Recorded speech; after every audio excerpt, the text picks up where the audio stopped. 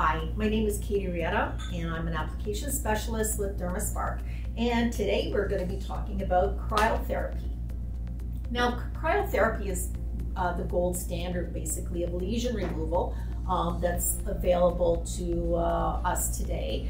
It is a very safe way of removing lesions such as uh, keratosis, skin tags, hyperpigmentation spots, not diffuse pigmentation, and other types of benign lesions. Um, up to now, there's been a variety of ways, methods of uh, lesion removal, and some are laser, uh, for instance, would be laser. Lots of clinics use laser to get rid of um, like moles and um, skin tags, etc. Uh, the problem with anything that burns the skin, especially in lesion removal, is the fact that you create a lot of plume, which the technician and the client would be inhaling. And in some cases, um, if the lesion was viral, for instance, that would not be a very healthy thing. Um, so uh, there's burning of them with laser. There's also electrocoagulation with radiofrequency. Um, that's a very common uh, tool in the marketplace to get rid of uh, a variety of lesions. Um, especially there, that particular technology is really great for small vascular lesions. Um, angiomas, things like that. It really is pretty adequate when it comes to getting rid of skin tags as well. Um, the issue with that is the fact that it's hot, it's burning the tissue and causing necrosis with heat. And the side effect of that is, depending on the skin type, you can end up with scarring and burning. And if you're getting rid of a lot of skin tags, especially in the underarm or a sweaty area like that, it's going to be really uncomfortable for your client. Um, so we represent um, two different devices. One is the FreezPen, the other with CryoProbe, and both of these deal with lesions in a very different way. They use nitrous oxide and which is a gas and it's compressed gas and so you're using it like a pen and you're going to freeze the lesion and what happens um, the recovery of this is quite slow actually but the benefit of that is it usually leaves the, the client in a super comfortable manner and it just sheds over the next couple of weeks and uh, the chances of scarring or any kind of adverse effect is really reduced. Now, why do we use nitrous oxide? Well, just like there is a variety of ways of getting rid of lesions in the market, there's also a variety of gas type um, technologies to get rid of uh, lesions on the market. Um, for instance, CO2. There's like CO2, something like you would get at Walmart, that they use that for wart removal and things like this. You can buy them commercially even on at uh, the store. Um, they operate roughly at about minus 60 degrees Celsius. It could be a little bit more depending on the compression of the tissue. And the temperature you need to cause necrosis or cell death uh, with uh, cryotherapy is roughly the same temperature. It's about minus 60. Well, the problem with CO2 is it's not very strong because you have to hit that sweet spot of minus 60 to cause necrosis and you have um, other um, factors that interfere with that like ambient temperature and stuff. Uh, a lot of times CO2 just isn't really uh, a great method of treating something that's uh, deep, deeper or a little bit more substantial. So uh, low CO2 is it's safe, but it's not particularly effective uh, because it's running too close to the actual temperature of um, lesion removal.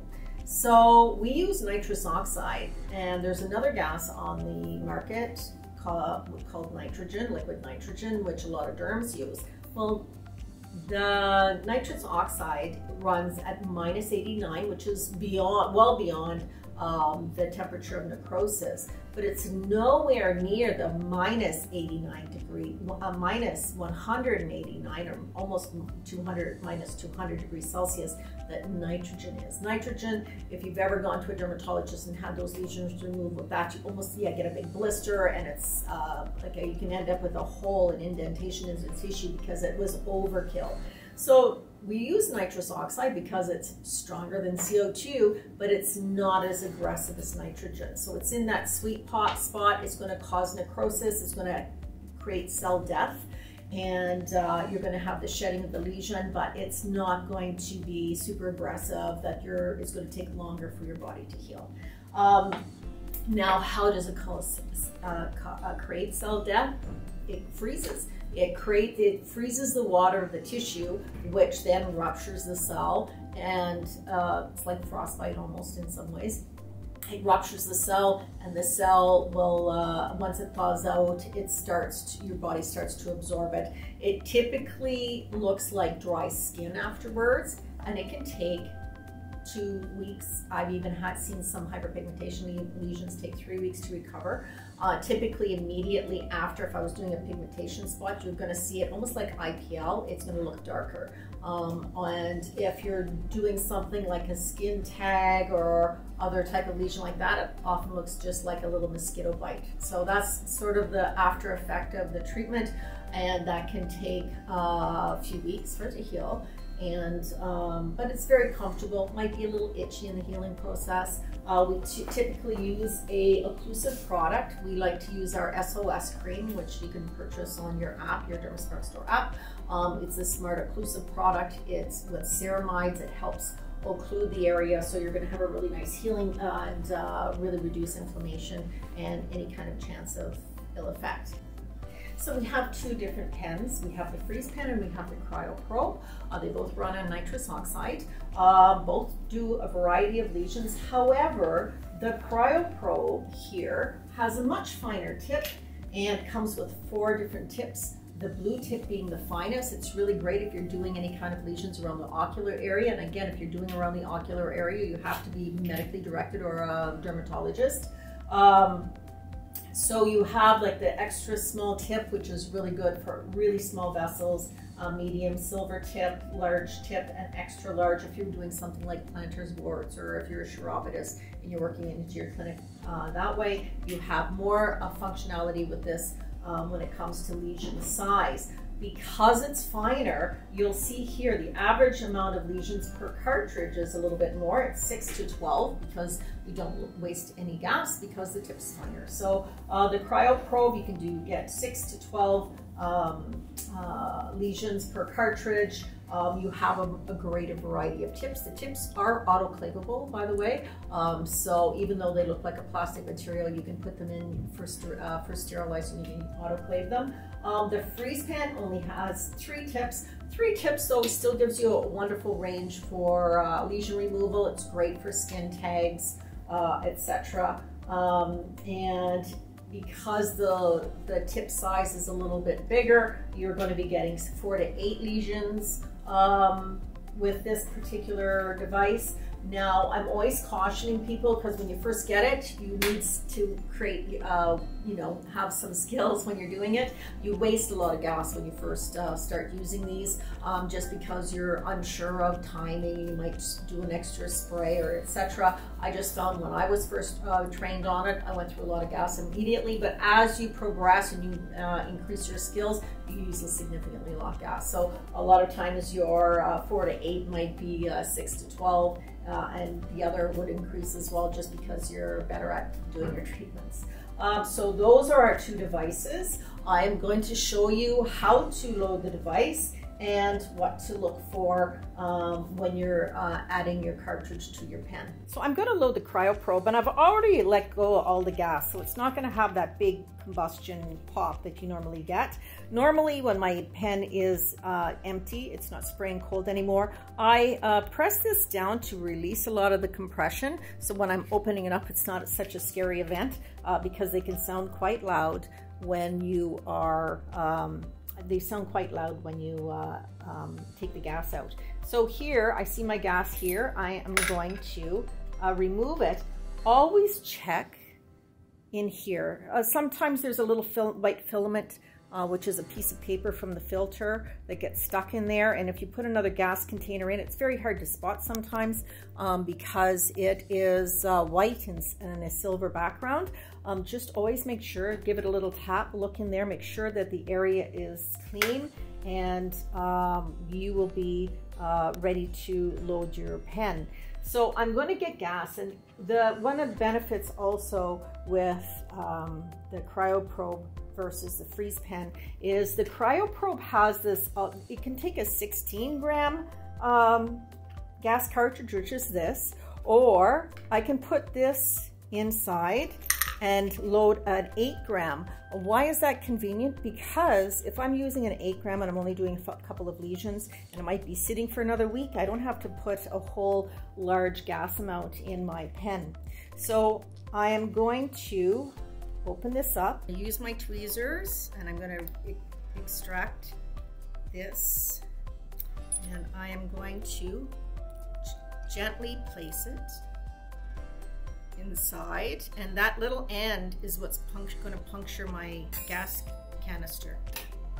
And I'm going to take my gas canister I'm going to place it here and I'm going to place the rest of my pen on and I'm going to just get it nice and tight like this just fingertip tight and I'm going to keep my pen downward um, because if you're going to puncture and break the seal this way, what would happen is you could end up having your gas leak.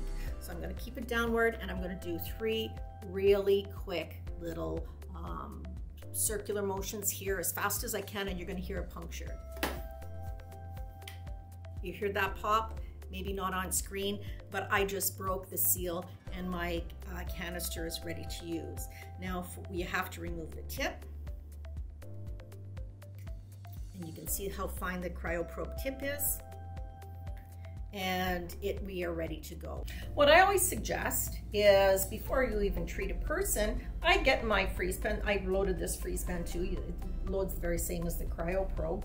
And I practice right on the, my catalog. So to do a lesion of this size, you'd be just doing like a nice circular pattern like this to fill in all your colors and you would, uh, depending on the depth, which you'd have to refer back to your training manual, um, you'd do a three second flow to uh, maybe even a 10 second flow, depending on the depth of the lesion that you're treating. So it's always really nice practice just to get good. If I'm doing something fine like that, I'm gonna pull back and you can see I'm, how small my little dot is for this lesion. If I'm doing a larger lesion like this size, I'm gonna do more circular motion to fill it all in. Typically you're doing one pass allowing it to thaw out for a few seconds, and then hitting it again and doing two passes. And of course, in your book, it will show you uh, your freeze thaw cycles and how many seconds to uh, hold the the the, pan, the gas out uh, depending on the lesion. So here, for instance, small small lesion, I'm going to go in and to keep to keep it on, I'm going to retract my needle a little bit and I'm just gonna hold it here for like three or four seconds if it was a skin tag and then I'm gonna let it thaw out and then I'm gonna hit it again as soon as the, the snow is gone and I'm gonna do that usually for about two lesion, uh, two uh, treatments and then I'm done. So if that was on a human, that would be a, a treatment.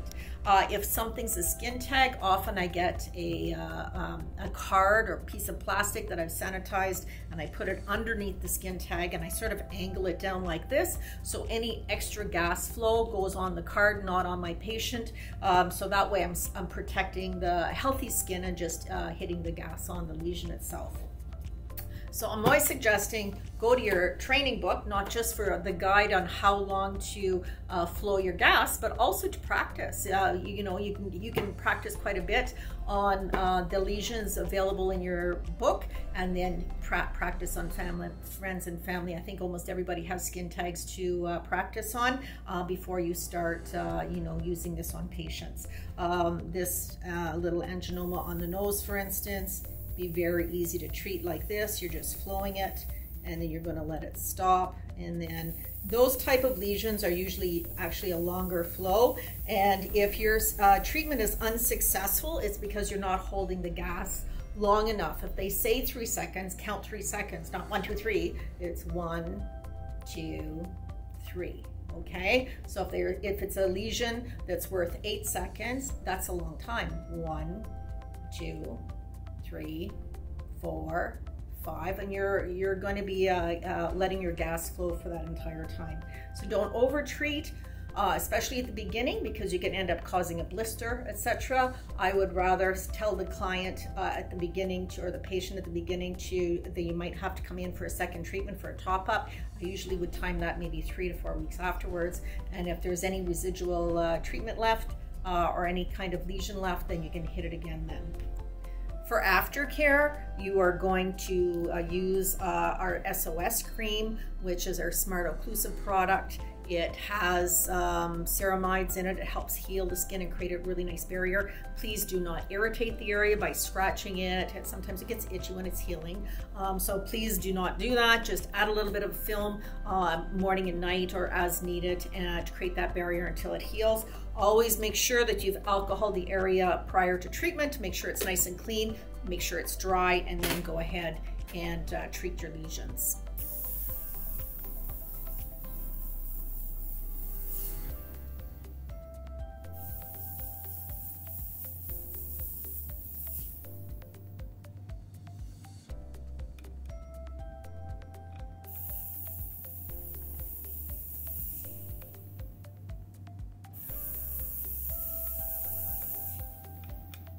And that is two lesion removals. Uh, that's gonna get up, you can already see the color picking up already. This will get darker too. They'll flake off in a couple of weeks and no more spots.